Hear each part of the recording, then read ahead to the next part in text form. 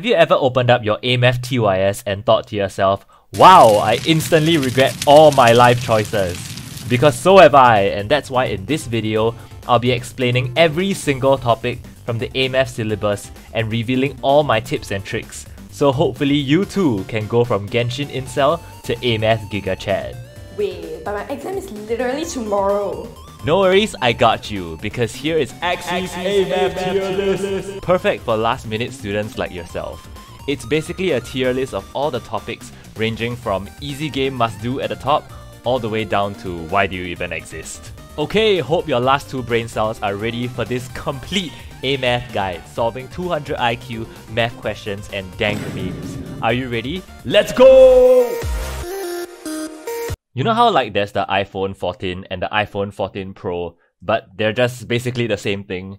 So this topic is the same thing as the eMath version of completing the square, but instead of adding one camera, we're just adding one number in front of the x square term.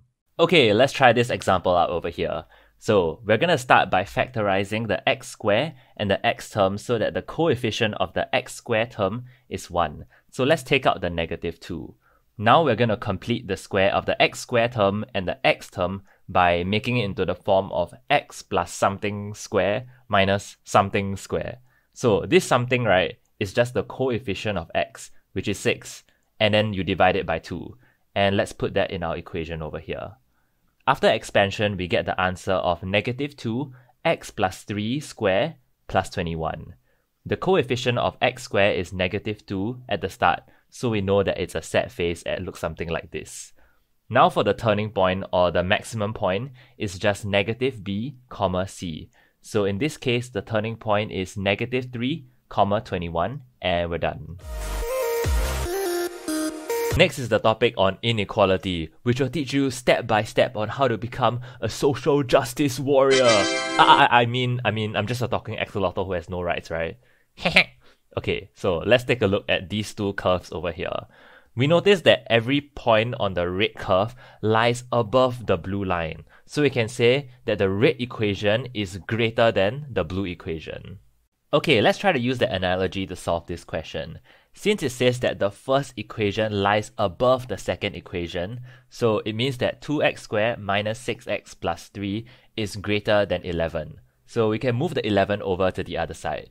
So the next step is to factorize our quadratic, and we can use the calculator trick. If you know, you know. And then we have to draw this diagram of the graph. It's a smiley face because the coefficient of x squared is positive, and the roots are negative 1 and 4, so we indicate on the diagram. Our equation says greater than 0, so we are interested in the region that's above the x-axis. Now we shade the parts of the curve that's above the x-axis in red, and we can tell that the range of values of the red portion is the left of negative 1 and the right of 4, and there we have our answer. As a kid, have you ever played one of those flash games where you like put your friends' names in this love machine thing and they like tell you how likely, you know, they feel the love? yeah, me neither. But this time, we have to put two equations into our love machine and this thing will calculate the discriminant and the formula is b squared minus 4ac. So if the discriminant is greater than 0, it means that the two equations intersect at two distinct points. If it's equals to 0, it means it touches at one point, which is a tangent, and if the discriminant is less than 0, that means it does not touch at all.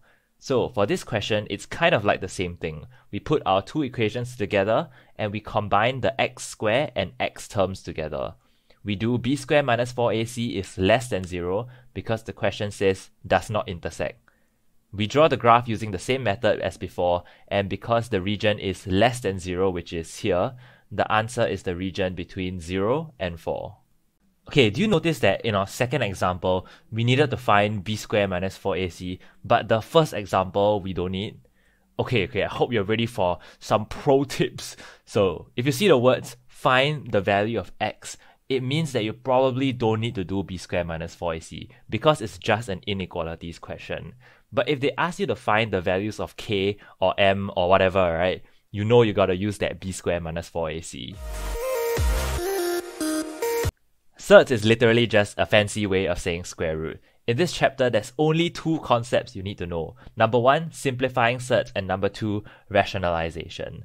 So let's say I want to simplify square root of 48. I'm going to look for one of these perfect square numbers like 4, 9, 16, and 25 that I can divide 48 by. Oh, just nice. 48 divided by 16 gives us 3. So let's rewrite 48 as 16 times 3.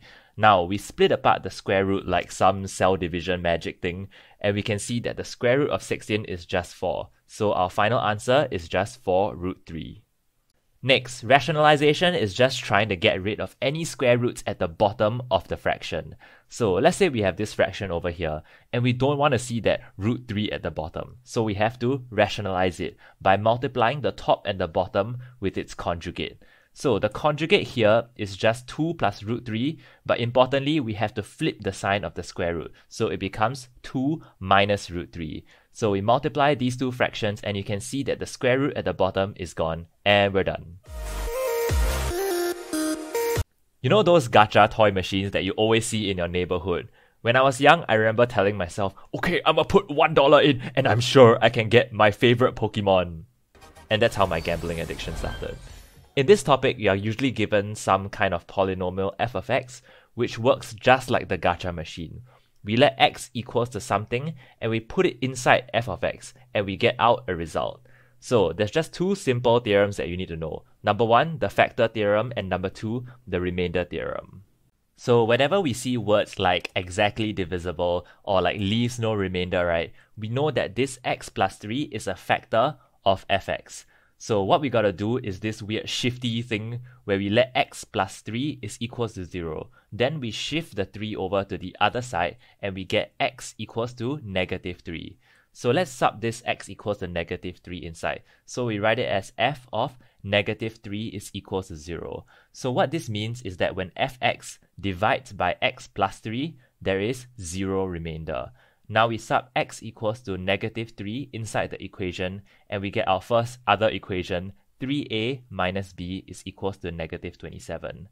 Now the remainder theorem is basically like the same thing but we have to do this weird shifty thing again for x minus 4 is equals to 0. So it becomes x equals to 4.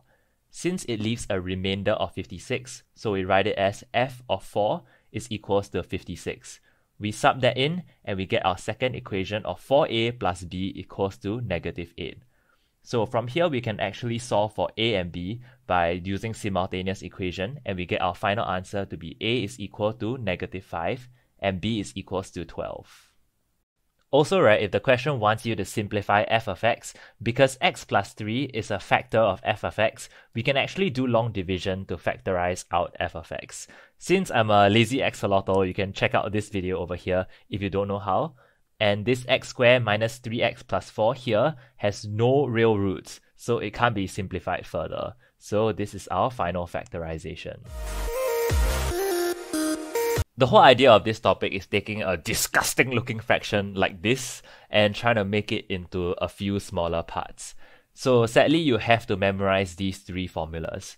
So the first one is the easiest, where there's just two brackets and we split them up into A and B, which we're gonna solve for later on.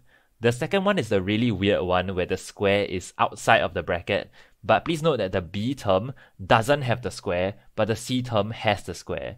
And for the last one is where the square is inside of the bracket. So you can see the x square over here. And then the other term will be bx plus c. Okay, let's try out this example. So the first step is to always check if the power at the top is greater than or equal to the power at the bottom. If so, we have to long divide. So the highest power at the top is x squared and the bottom is also x squared. So we need to do long division to split it up like this. Okay, the quotient is 2, which goes out over here, and the remainder is 2x minus 19, which is the top of the fraction. Now, after factorizing the bottom, we see that it's actually the first case. So let's write down the full equation and combine this a and b into one big fraction. By comparing just the top part of both fractions, we can get something like this. Now we try to solve for a and b by letting x equals to something we are trying to make one of the brackets kind of like equals to 0. So let's try to let x equals to 2. Because 2 minus 2 here will be 0 and a will just disappear from our equation. We solve for b which is equal to negative 3.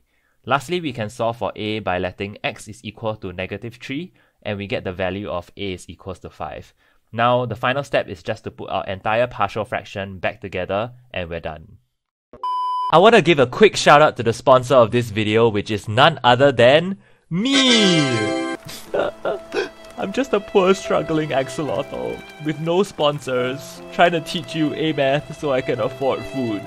So why not like this video? Or maybe share it with a friend who's an absolute A math idiot. Or maybe even consider subscribing to my OnlyFans. Binomial is all about dealing with things like 1 minus 2x, but raised to some higher power.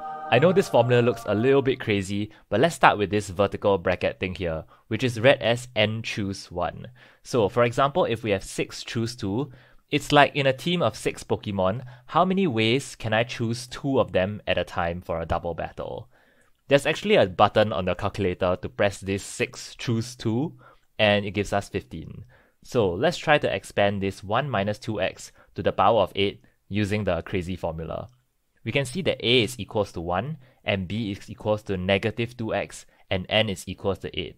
So let's put all of this into our formula to calculate the first three terms. And since there's many more terms, we just put this plus dot dot dot thing at the end.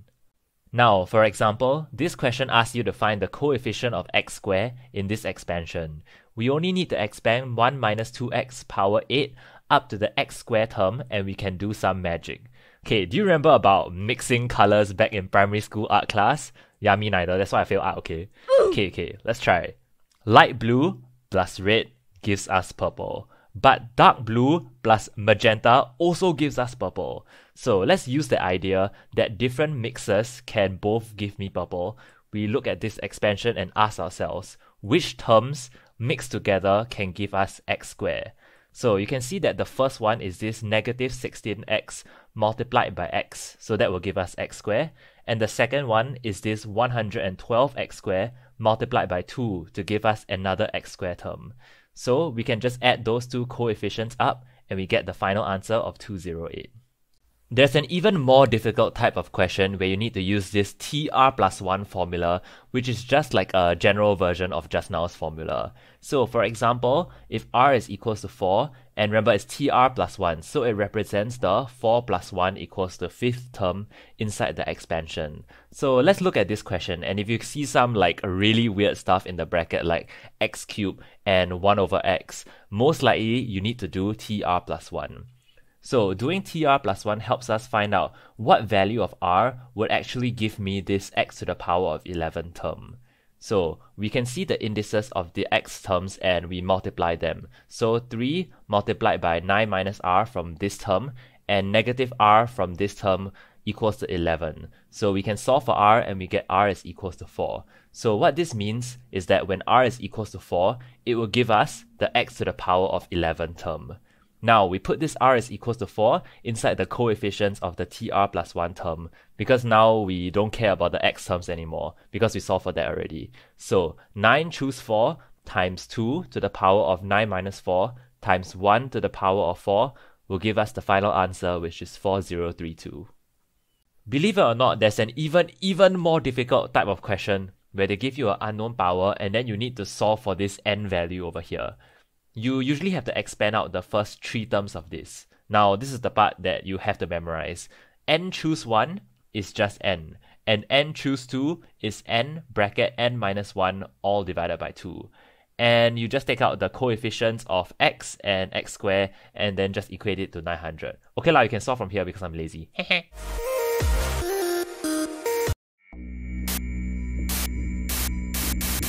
Hi, I want to play a game. We have three numbers here 2, 3, and 8. Our goal is to make each of the three numbers using the other two.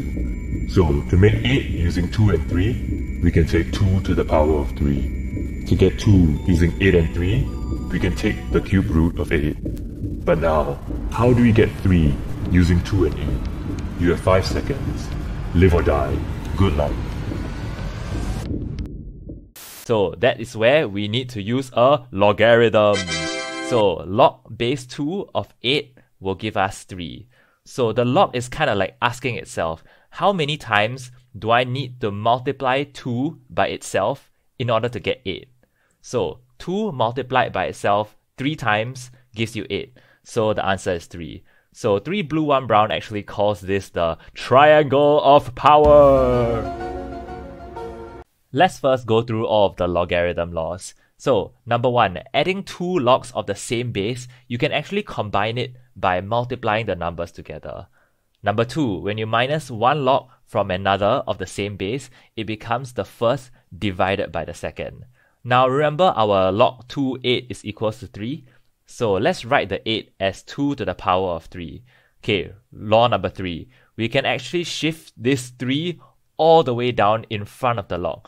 And if you want, you can also shift it up. Number 4. Any log of the same base and number will be equals to 1. So this log 2 2 over here, it's gone. It's just equals to 1. And the answer is also 3. Nice.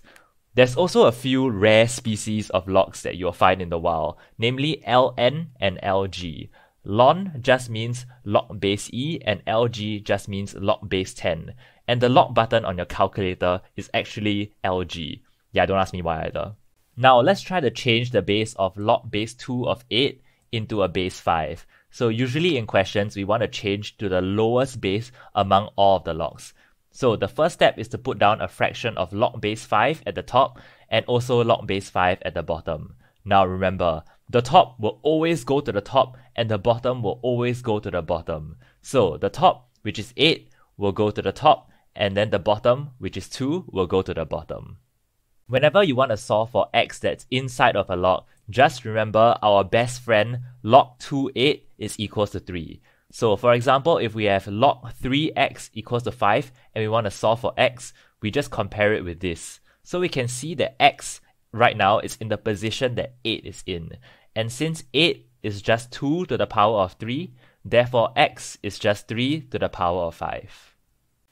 Let's try out two examples. So the first one is the solving for logs kind, and our goal is to try to combine all the logs together. So we can combine the left side into x minus 1 divided by x plus 1, and for the right side we can rewrite the 1 as log 5 5.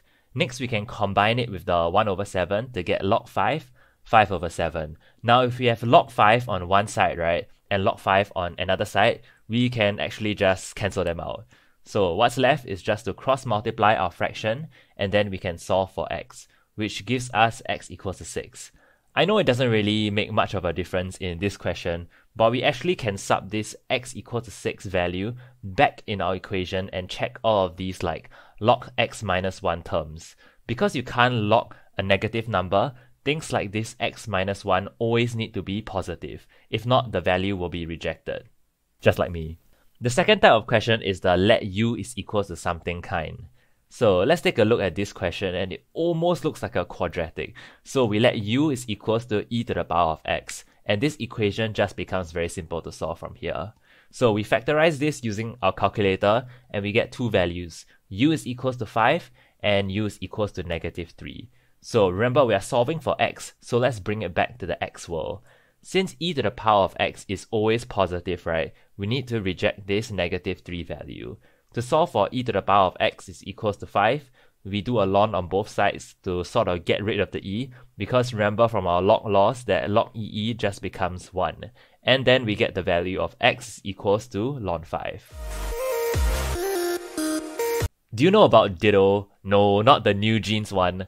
I'm talking about the Pokemon. It's straight up one of the coolest Pokemon out there because it can transform into any Pokemon and steal their moves. So you know how our graph is always the y-axis against our x-axis?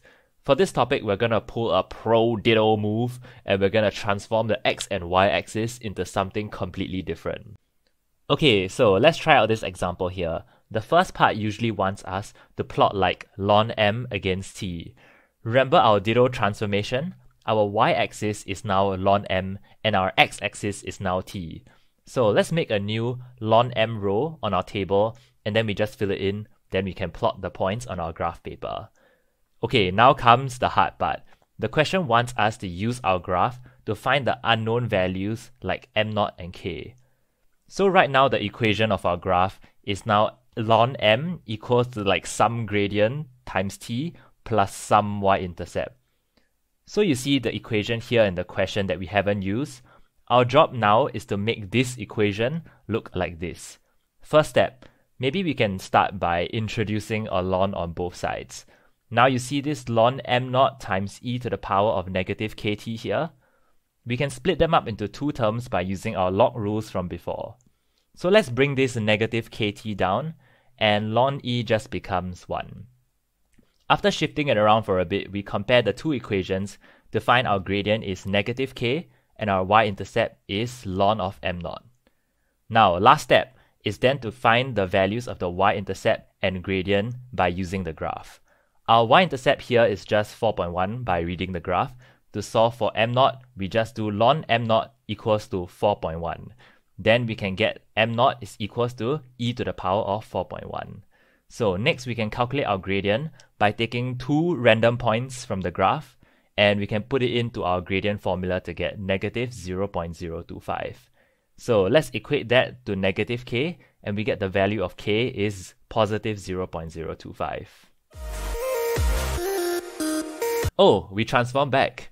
Okay, for this topic, anytime you see a 90 degrees angle in a question, you know you gotta use this formula. m1 times m2 is equals to negative 1.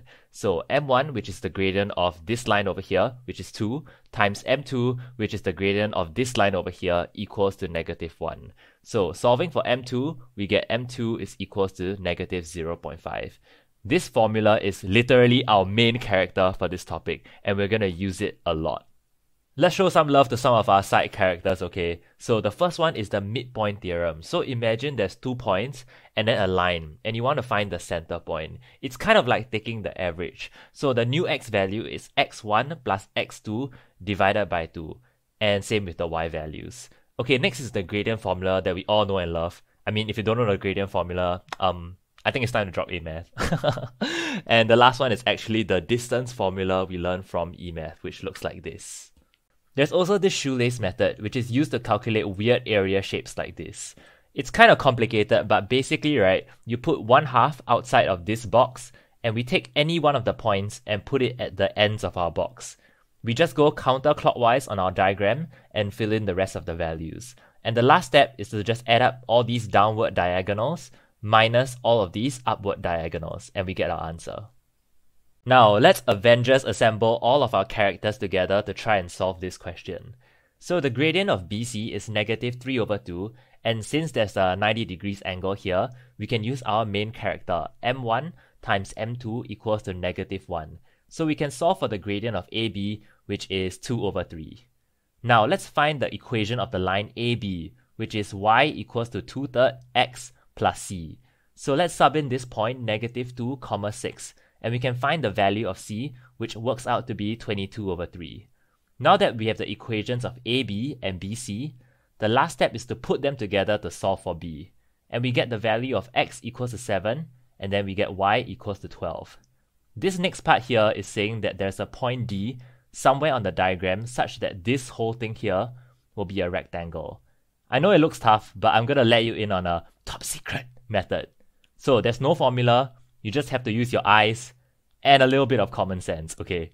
So we find the coordinates of C by first putting y equals 0 in this equation and we get C is equals to 15 comma 0. Now, BC is the same direction and length as AD.